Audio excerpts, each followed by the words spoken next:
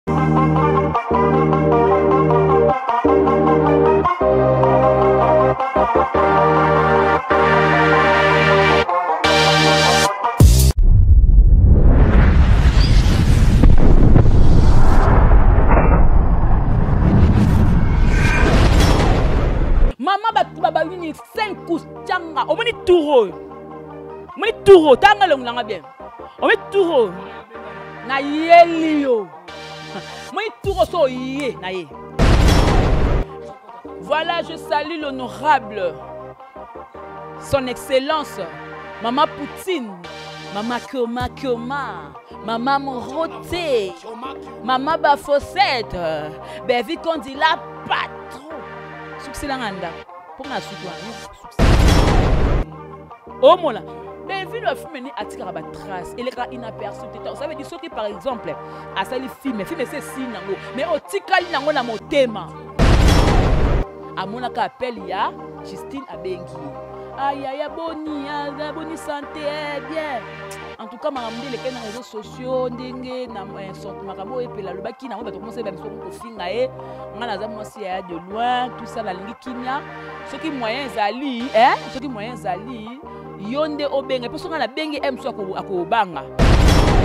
jema ibele lelo balobi famille libota bazo bango na bango bazotekana balobi lelo bijou la reine ateki sere na biso epela mpo bakanga ye par rapport ya bapropos na ye ndenge alobaki mpo na justine mata lelo balobi famille libota amoni ke erevese eh, eh, bino ya botumolaka ngai te nanga otirelenga tiro makasi na baminyati nalobaki yango avanga nakota na nsa mabele ifo motu moko afula nga asanga na minati nanga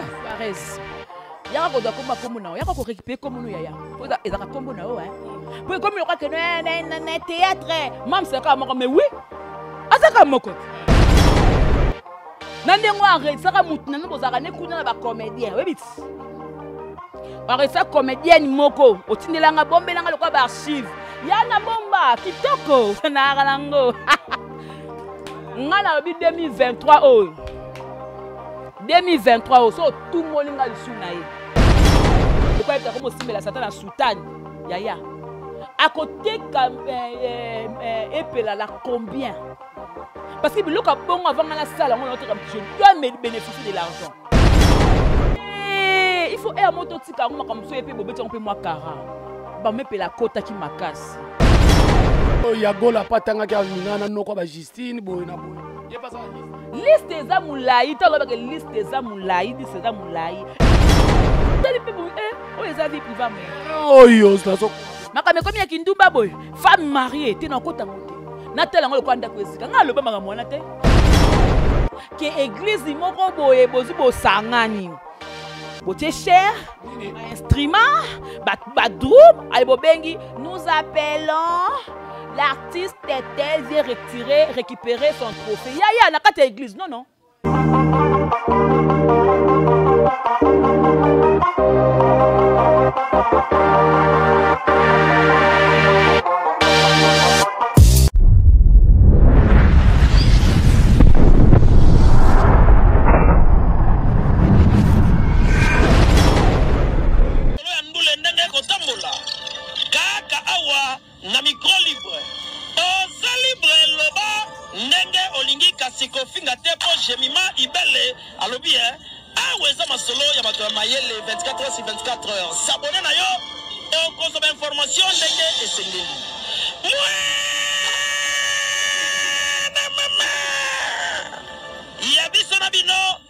24 heures ya information ya culture na biso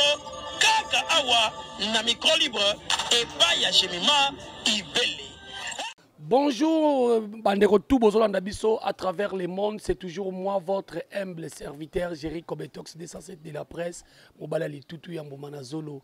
euh, préfet de discipline, Moukoua Moko de la presse. Merci beaucoup, Nabino, tout bokolanda biso na GITV bo continuer toujours ko s'abonner bo continuer toujours ko aimer ko partager ba vidéo nde balobaka kaka soki pe tapotage eza bo tapoter kaka po esala bien voilà lelo naza na na botoli mokolo ngwende lelo parce que na na posa ko koyamba ye aloba oyo ezoleka eh, na niveau ya internet na niveau ya, ya réseaux sociaux voilà eh, tozoyambela bino lelo gros bébé de la presse kolo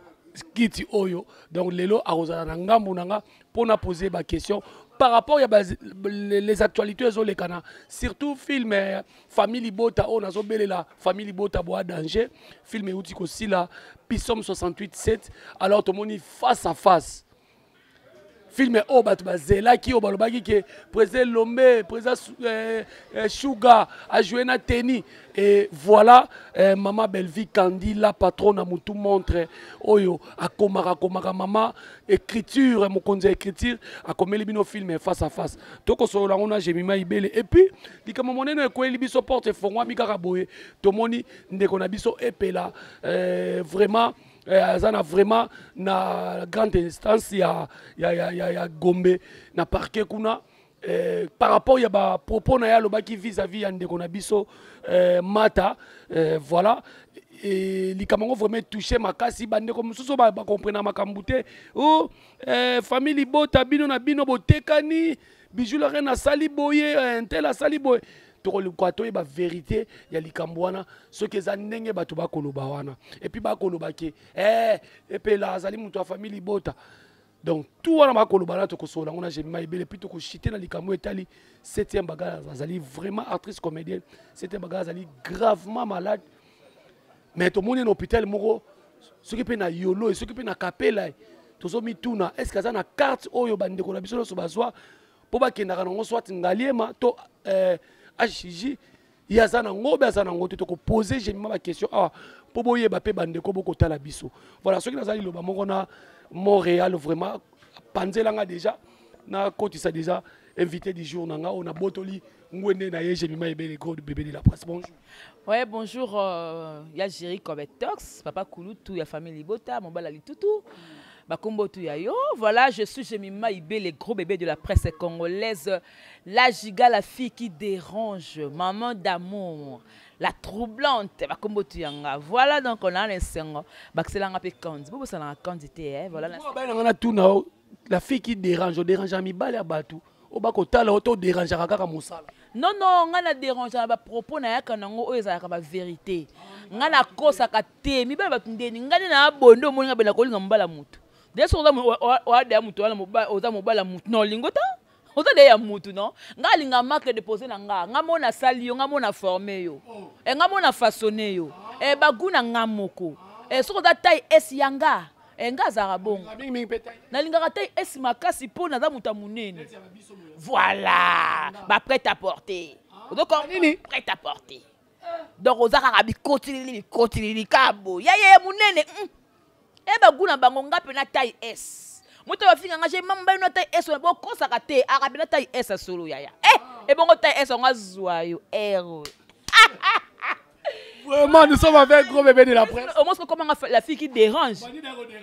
Tant que tu as bon avec une déni, et fille au penze, si à milax, si à na déranger.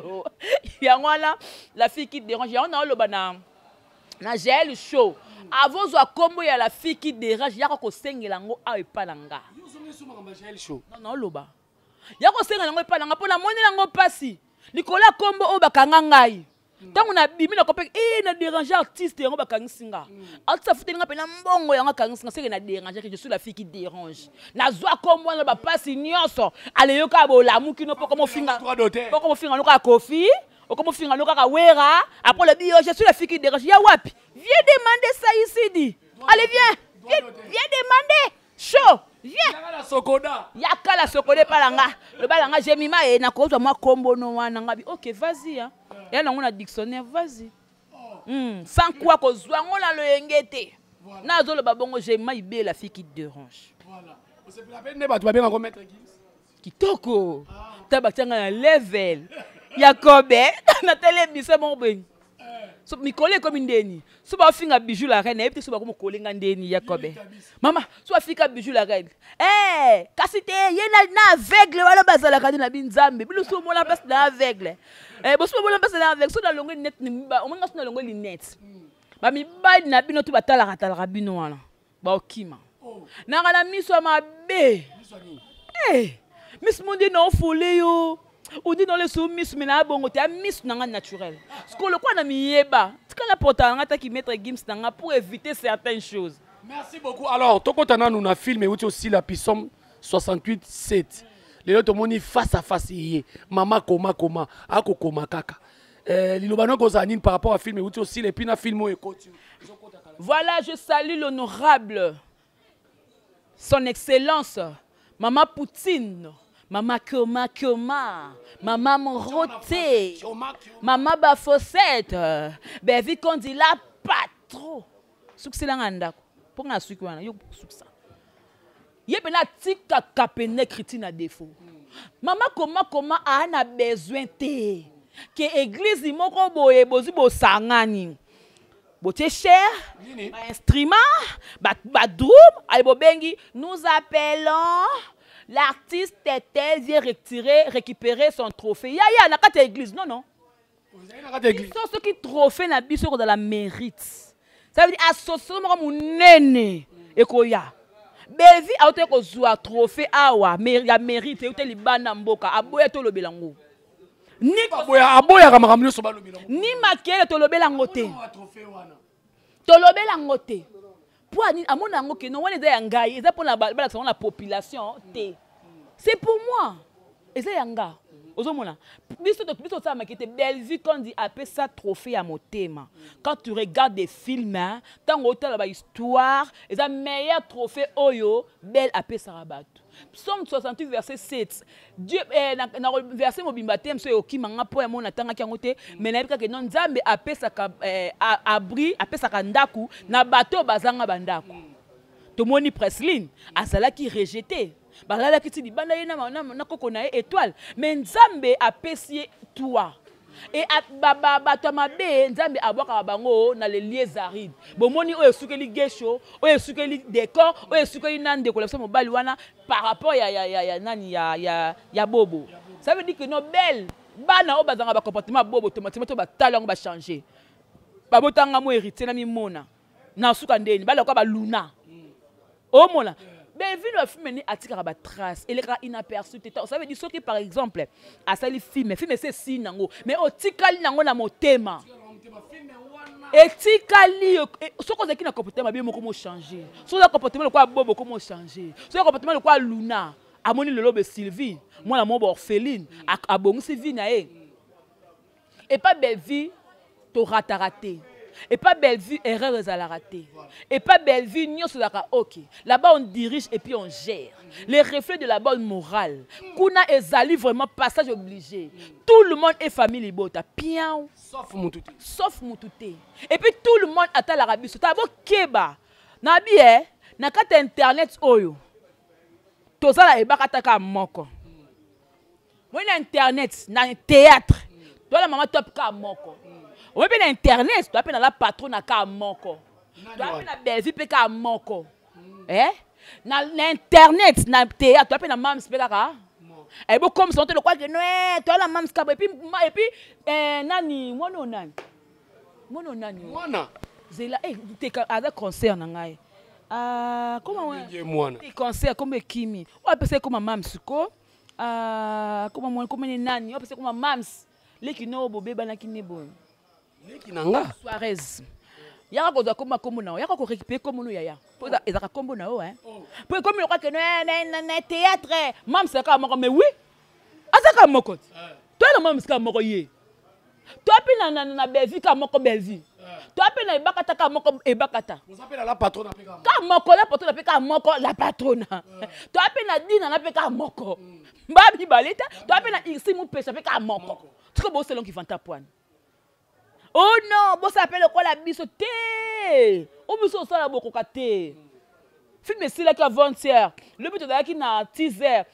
présentation des acteurs lelo film ekota to lokola bino te bino fo mwa temps mort leta bosala mwa chinchan yaya oza na itswa ye na nango mwa ndambu te tokole koto bokole kole kole esali mwa forme mo ya 45 minutes boyopesa bato est ce que ezalaka baevre est ce que etikalaka na mitema jamais ya biso etikalaka te ya botumolaka ngai te Oh, nanga otirele nga baotiro makasi batio na baminiatire nalobaki yango avant ngai nakota na nsa mabele il faut motu moko afula ngai asanga na minatire ya nayoka nde karine mokonzi ayokaka ndeki ndenge la patron nayokaka yaya ndenge bijou la reine ayokaka yaya okomaka kotika bengana na miatie bie toli kozala star ezaka elengi boye yaya me mikolo olalisi e tiangako tiangako yaya mama sokola sokola tianga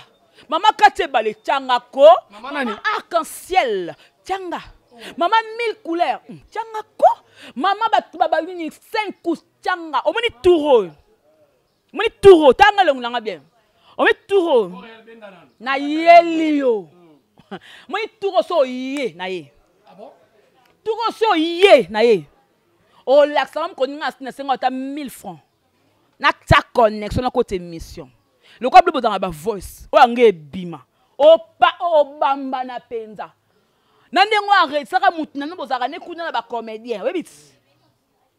aresa comédienne moko otindelanga bombelanga lokola baarchive ya na bomba kitoko nayaka nango ngai nalobi 2023 oyo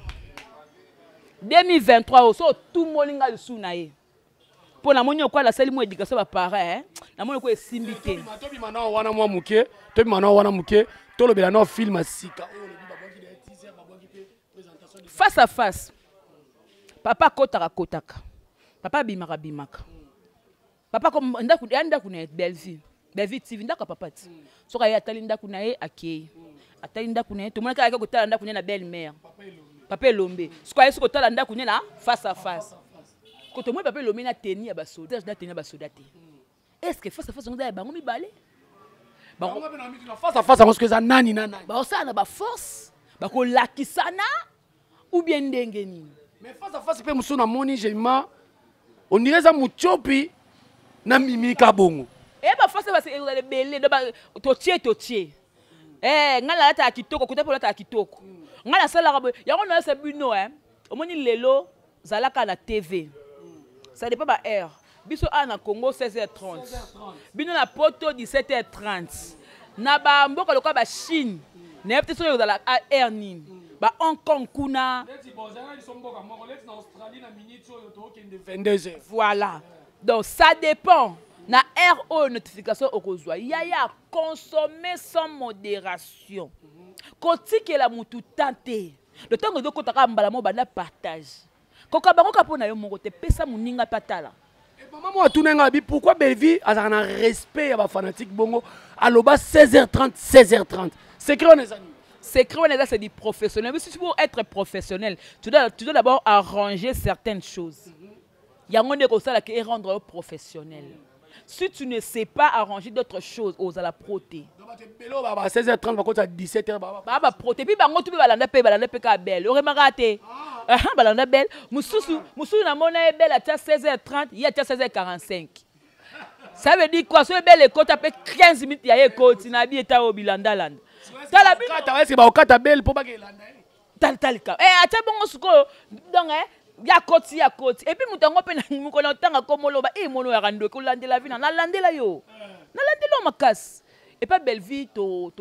tozalaka na échec te naosepelaka mpo bavie na biso ezongi nde tobandaki kolinga eh, bavie na biso ezongi parce tosala ka promotion ata ndenge naloba makambo na ngai naloba makambo na ngai etake jemima ibele oyo baosalir réputation oyo baosambusa na internet alors moto ayo olobela nga ngo koleka nga moko ozala te ata bianca avandi abe defendre bianca odefendre ndeko na ye mais aloba yango lokola nga te ayoka mpasi lokola nga te ayoka mpasi lokola nga te yango e mobe ifo to tolobaka omona mais naye kolobaka take egenima ibe naye kolobaka take take o famille libo te eh. non non je suis venu parler par rapport de moi vie na nga famille na nga ekomi lelo sali mais na kati ya makambo ya mpe soki osala promotion osali promotion oh, yaya Mais biso nga nde naa boye peme na bene naaka mpo na promotion te bokuna naa mpo na nini mpo na kofinga motu te mpo na kosala motu mabe te mpo na mposo te tosala oyo bango basalaka tala de mois ebele bakofunda biso mpo toyebaka koloba epai na biso eza ata une semaine bafunda biso mpo toyaka mpenza mayele Voilà. Oh. En tout cas, tu rencontres la deuxième sujet na biso. En tout cas, tu vois la biso na GI télévision. J'espère que bozo mona émission ça nos plaisir. La fille qui dérange, tozana et awa anima longa depuis euh, Canada, anima longa ça toujours maman passa. Anima longa maman ma passa. Maman na lombula euh, David na lombula David lombula et puis Etangelo ko pe jour pe la ka bien piaka hein. wana eza mambo wana eza mambo mike wana eza mambo mike elekaka place elekaka ekoma boye ani malonga esaka nga mpe ka bien voilà ani malonga j'espère que message ekomi niclete duma solola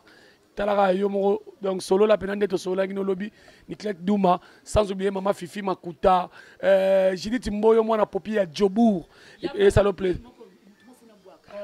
Ya mamita Dina ma maman Mamita Dina de moi-même depuis la Belgique. Elle c'est ma sœur, c'est ma grande sœur, c'est ma maman. Elle est tout pour moi quoi. Mamita Dina, famille Libota ya sûr sûr. Voilà, base euh, Londres, famille Libota, maman chérie à moi si, et puis c'est là la sœur na biso na sotola ba mbote belé, et puis maman na biso euh, Meje, Meje, mais j'ai vraiment donc euh, merci beaucoup na yo jemima ibele lelo balobi famille libota bazo bango na bango bazotekana balobi lelo bijou la reine ateki sere na biso epela mpo bakanga ye par rapport ya bapropos na ye ndenge alobaki mpo na justine mata lelo balobi famille libota amoni ke eh, erevese bino eza kutu bongo te yakobe toloba yango chacun de nous a sa vie privée yako bende oza wana ata toza boye mais wana vie privée nao en tout cas okolinga te ke motu akota na kati ya vie privée nao là c'est normal mame pela aya kosala sortie médiatique moko oyo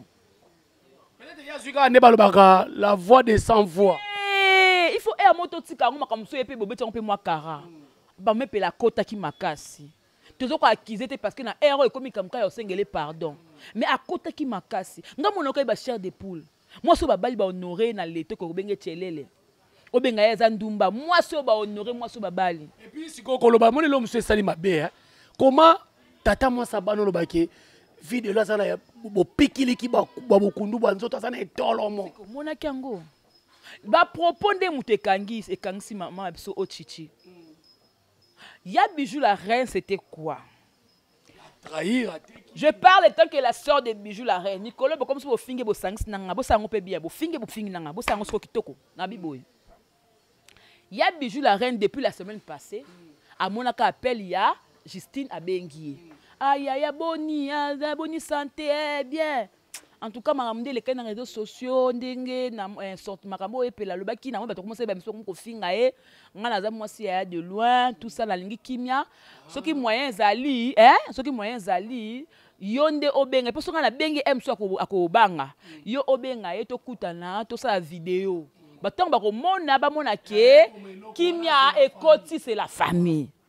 depuis la semaine passée sikoyo ba contre temps esalami nde ya bijou lakani azalaki na matanga epela mpe batournage ntango mpe ya bijou lakani matanga esili ezobala na bala na kaka te na epela batournage lobi mama bato oyo tisi alaki na batournage na ye mais ayesezela na sisa lokola azo insiste bijou yo moni ndeni ah na toka tosoni bien tala justine apesi ya bijou indice moko te ke aoki osala kokangisa mama epela rien ye bijou la reine mpe la kibon samaritaine abi ah lokola bazwi nga seke na créer kaka mwa pont otiti bakutana na matonge te matonge na matonge bazwaka taxi ti wileri te wileri sa 55 e wo na wileri kokota kaka bakoti bavandi basata 5 minutes te mpo ntango bakomi babengi mpe ah nani eh, mata tosi tokutani na epela eh, eh tokokoma kuna eh, bokoma kuna c'est bon nzoka nini la police ya deya kuna na nini na 155 baozela bango koko baka bakomi ka ba ya biso amona bamona kaka bato baye bonjour bonjour eh, babenge mpela babenge mpela mpela epela na nkombo na ye epela kute nkombo na ye mpenza ociti soki nini yanga babengi ne moko asutuki abi tozoluka yo bafundaki yo eh, ndenge eza bongo toke place bafundaki ah bafunde ngai ya biso asutuki heureusement basalaki desordre te parce que soki basalaka desordre na sasela nse bango bafilme bango bavideo enga te parce que baya bastar bazwi bango mpena na kimia nyonso motuka ye babandi soki kotambusa bango bakoti gombe bazotambola tambo papa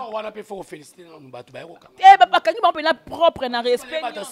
eh, na respect nyonso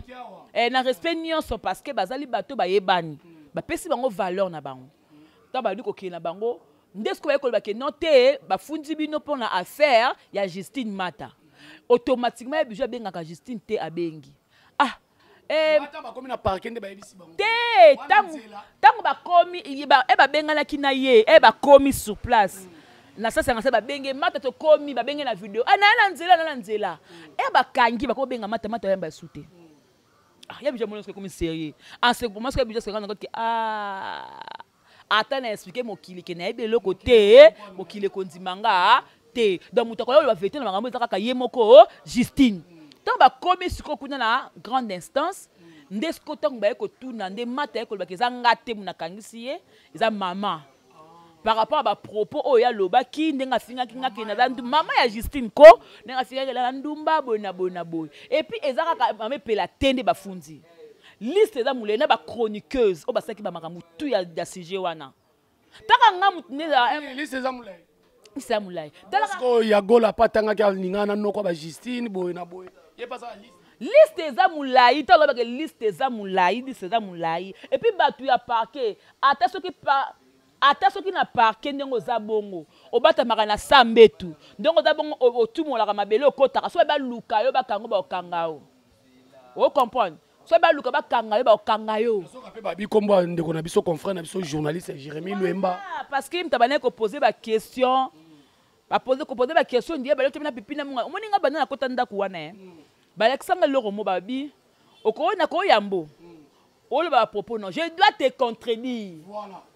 nakozala ntango yo olobi bonga mpe natie pipi na mungwa tozo participe biso mibale nde tolobaka ole propos teni leta ayeba mama mwana te mama na ngai ye eh, leta oh, ayeba yango te siko ya bijou la reine ndenge aza bongo ata bomemisi ekulusa lokola yakomi nde ndoki na internet oyo mobimba lokola yebita komi osimbela satan na soutane yaya akoteka eh, eh, epela la combien parce que biloko ya bongo avant ngai nasala yango naoteka je dois me bénéficier de l'argent parceke oteka opela oyo babandani banda kala ndeko na ye ya kala kala na mosala oyo ayebi eloko te ngai naye koapprendre yango yabi yabi jour abenga ba 17 heures aloleki na nga nde toza boye toza a na parquet bakangi epela eh, na parquet mais ba, justine abengaki nga mais nazo comprendre te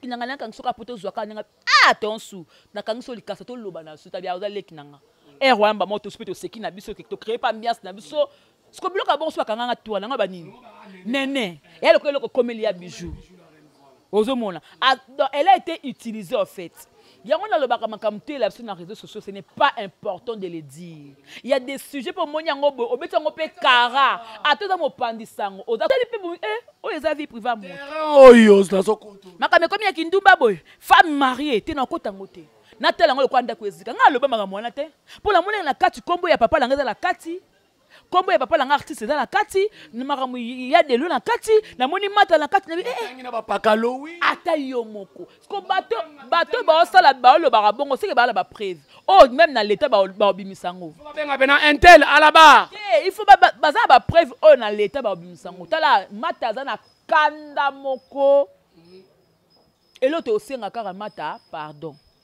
ah. te tosengi pardon te mama alimbisa biso mama alimbisa biso tosali eh, mabe tosali erreur toza bato alimbisa o chichi azali tata mwasi ya bana osenga alimbisa o chichi to osenga alimbisa na bachroniqueur alimbisa o chichi ngai na kaka ya o chichi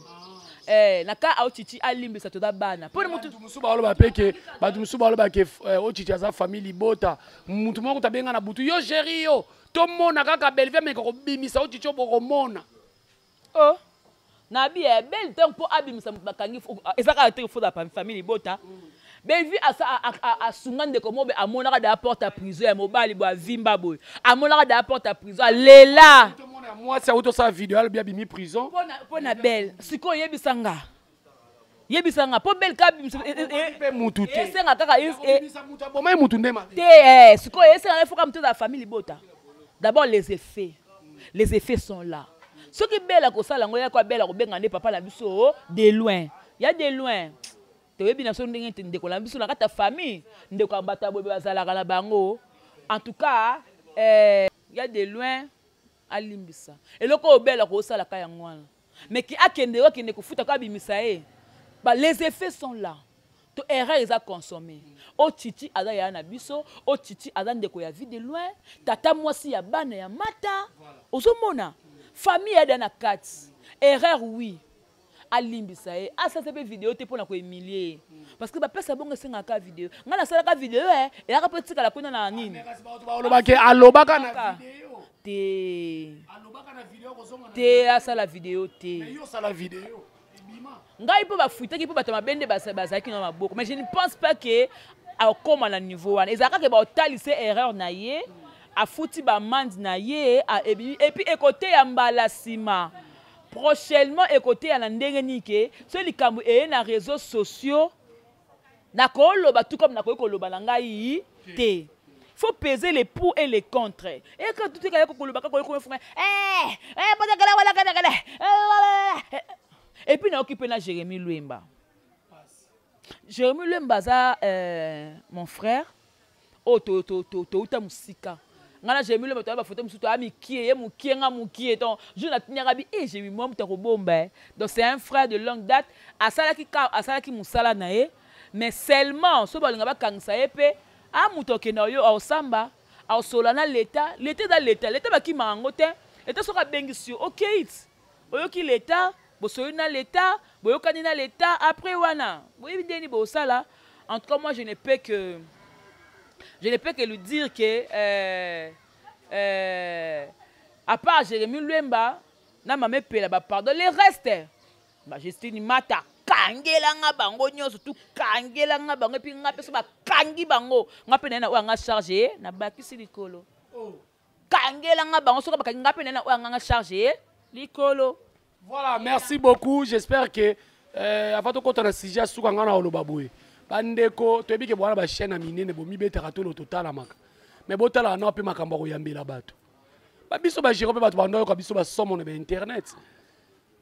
mais nakenda prison te nga banda na banda vie na bino ya bogado ya litutu nakenda prison te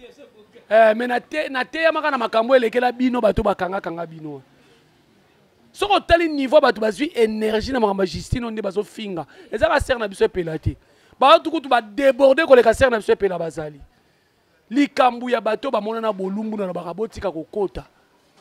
botika kokota en tout cas eza mpasi voilà jemima toke na sujet na biso ya suka septième bagarre gravement malade tala niveau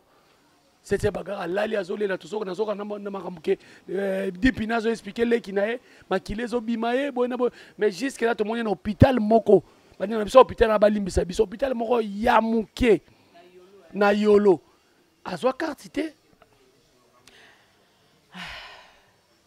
en tout cas ngai nayebi ete ke ne septième azalaki malade wana sœur na ngai ya mireille tubadi mireille tubadi oyo ya biso euh, ça fait babi un mois yango oyo depuis akoti hôpital mais eye koyebana kaka jour nini lobi ya mireille asali émission moko alobaki ye azala susu te na kati ya ntpc sikoyo nayeba nazolinga na mituna soki ozala il faut obénéficie na carte wana ya santé oyo ya mama il faut ozala kaka na kati ya ntpc soki oza en dehors ya tpc te okozwa yango te point d'interrogation normalement il faut osafier osafier na na na ozala siko ye na ani tpc azala su te je ne pense pas aussi que azalaka na aimant nous réellement vivant azalaka te cause nango ezali balongola ye alobi so mpe balongolaka ye alekaka asalaka émission balongolaka ye tout ça epuis na emo eh, donc balongola bakarte zana ekabwamaka te bakabola bakasa eh, nakoyeba yango ndenge nini sikoyo tozolinga toyeba seke toloba septième baga azalaka na structure moko ya tokanisa parce que namoni papa na biso jp masama nde azozala kuna epuis na yolo toboyi te hôpital ezalaka grandeur ya monene te esalaka nde baspécialiste bazala na kati so na yolo kuna baspécialiste baza na bango na kati c'est pas un problème mais soki ekomi na niveau ke il faut batransférer en tout cas septième bagarre doit être transféré mm. toza na besoin ya ame na ye toza na besoin ya artiste na ye toza na besoin ya vie na ye toza na besoin ya art na ye oyo ayaka kolakisa biso tu vois on a besoin d'elle à tel point que totala nano te ke yo oh, alekaka asalaki basaki boye siko bino bato bolekaka olaka yo nakolakisa yo omoni ngai nao tokosuka no mabe eh, siko babiloko wana nyonso tu soki lelo belikambo akanangi ekanangi tokangi yo ndoki ti yango makambo nazoloba awa toyebaka makambo ya koloba na baninga na tv mpo nazoka voice moko ezosirkile ezosanga motu mpasi nakolakisa yo nakolakisa yo voice moko ezosirkile nazoka kaka mongongo ya motu azobaki yo septième nako voice mpe nako nayoki mpe ya septième nayoki mpe ya, ya, ya motu azoyebisa septième peut-être eza nango ye te mais eye kolata yo kaka mpo likambo ekomi c'est ça internet bato batalaka biso na bandoki batalaka biso na bato oyo jema aobokela wana aobokela mpepe jema loba loba aobokela mpepe wana nga mpe nazomata kaka nazomata kaka lobi nango lobi nango kuna ememi nga na prisonanga na miniature minia minia ako enga nalingaka miniature nalingaka miniature makasi nga alingaka batyanga na miniature baposte nga poste nga mpona mpona eh, miniature eza nga miniature makasi na ngango makasi nga nalingaka miniature botyaka nga na baminiature nga nalingaka yango makasi e soka nde bato balingaka miniature ah nzambe moko boye mirai tubadi eloko esalema ete esalema te ana mwana ya papa ya liloba mwana ya polo polo dominique baba nzambe akosunga me na minute oyo boye nasi nde tolobaka boye na exo aotyela euh, émission nini video yango baomona aza vraiment inconsciente koloba tellement oloba te monoko donc aza mpenza bien te nayoki na, na, na, na, na maloba ya dipi nalobi azalaki soki azoamona baperiode fosala ba deux semaines au-delà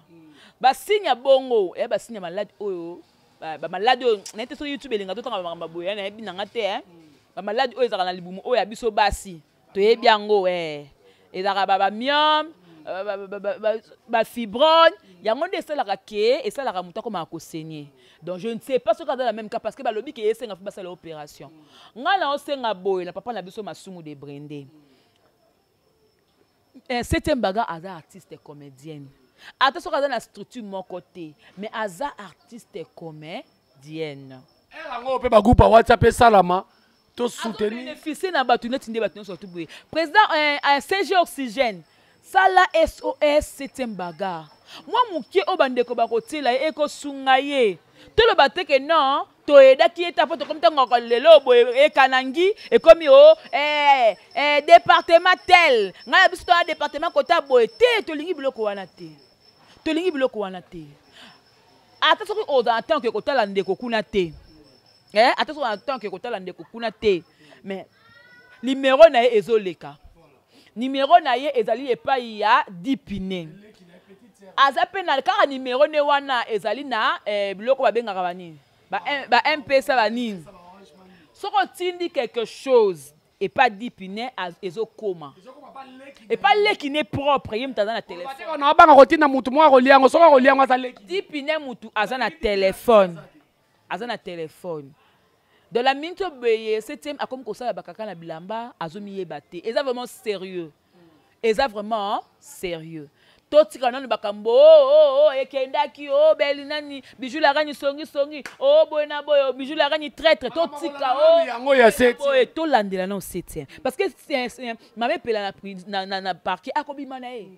merci etienne santé epuis mama epela mpe toyebisa bato ntango justine amemi ye kuna eza te amemi ye mpo baboma ye te ezaka leta ekebisa ye mbala nsima abandela esu te ozomona mais totoluka no tosauve nanu septième bagarre tosauve yakobe mpo yo omoni te so omoni olela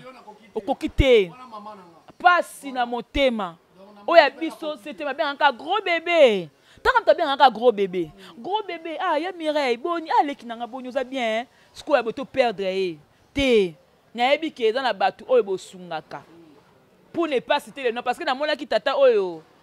artiste na biso oyo nani papa océan alekani akasaki aosenga aide o oh, aide na ye ase nzambe na ngai aosenga président masumu na bellevie bino bwaka bandoki eh. asengi aide na ye soki esengi boni boye ko tokoyede yo papa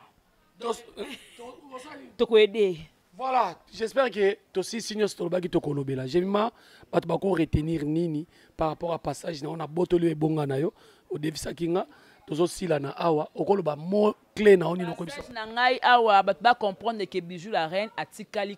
kotrahir eh, epela te ateki epela te ye mpe akotaki na akwei na jeu ya justine parce que babandaki koluka ndenge nini bakanga epela parce que faut retenir osika eza justine te motu akangisi mama epela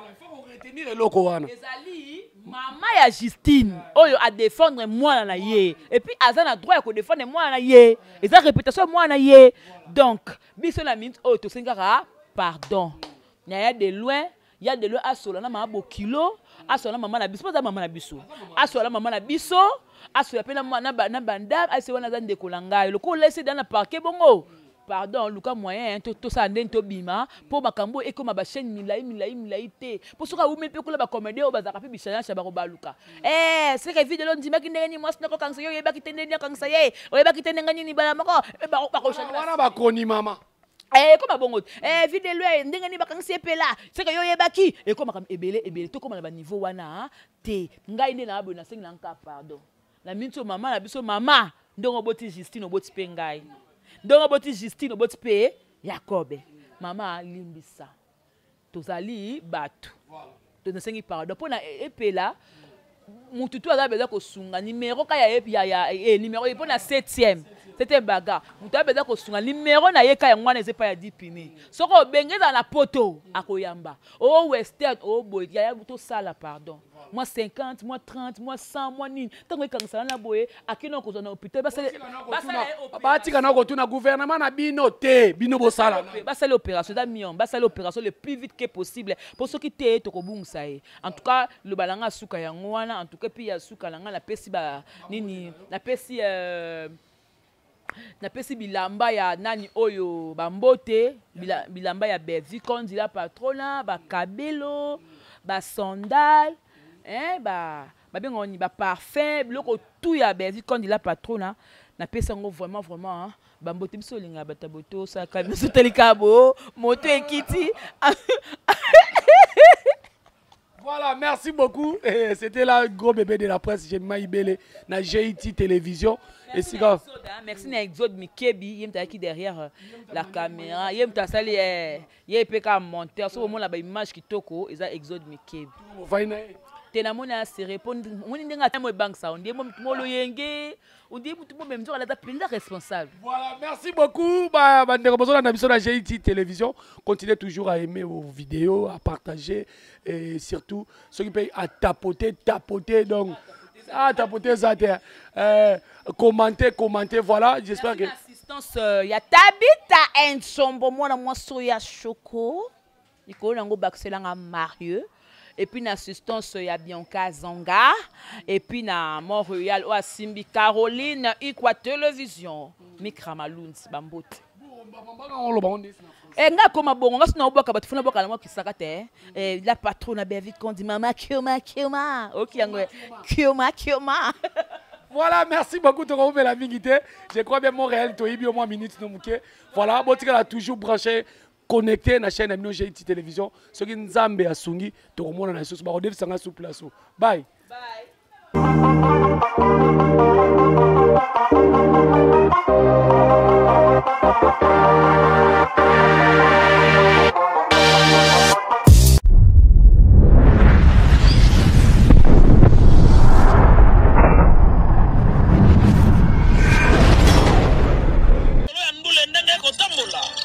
Kaka awa na micro libre.